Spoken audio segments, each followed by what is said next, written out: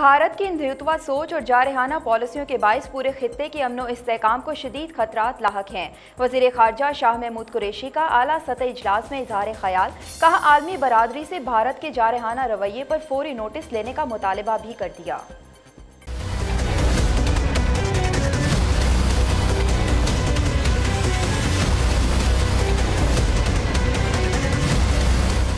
वज़ीर खारजा शाह महमूद कुरैशी की जेर सदारत वजारत खारजा में इलाकाई सलामती के हवाले से आला सतही इजलास का इनका किया गया, जिसमें वज़ीर अजम के मौत ने खसूसी बरए कौमी सलामती मुईद यूसुफ, सेक्रेटरी खारजा सुहेल महमूद, आला अस्करी हुकाम और वजारत खारजा के सीनियर अफसरान ने शिरकत की। इजलास में मकबूजा जम्मू कश्मीर में जारी भारतीय जातीयत और खत्े में अमन अमान की मजबूरी सूरत हाल के हवाले से तफसीली बातचीत की गई।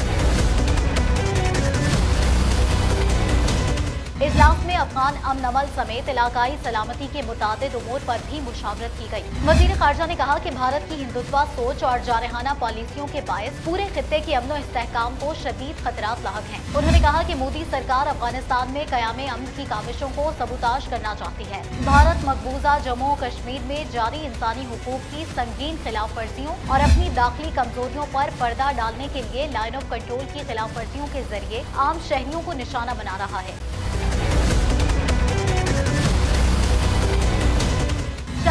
कुरैशी ने कहा कि चीन के साथ सरहदी तनाजे में हजीमत उठाने के बाद भी भारत अपनी हटधर्मी की रविश पर कारबंद है। आलमी बरादरी को भारत के इस जारहाना रवैये का फौरी नोटिस देना चाहिए